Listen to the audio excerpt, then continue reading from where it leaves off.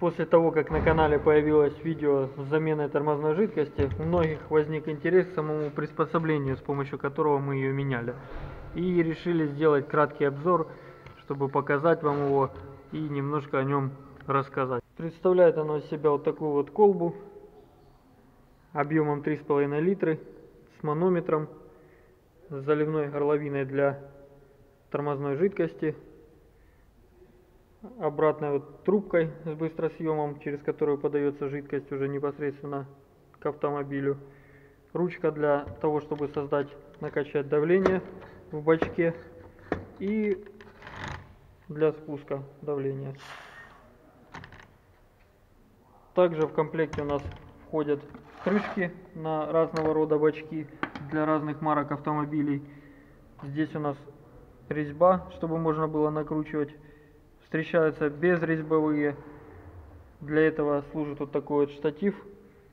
Регулируется под разный размер тормозных бачков или бачков на сцепление. Собирается. То есть это у нас низ устанавливается, зафиксируется сам бачок.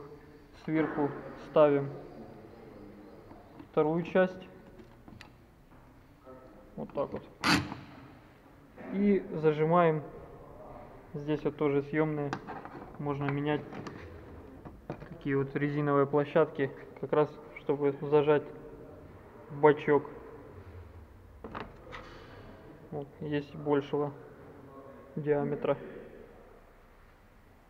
Вот так же самое есть удлинитель.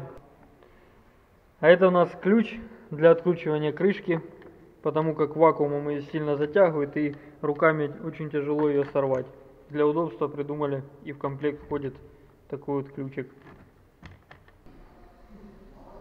Собственно, это и все, что можно о нем сказать.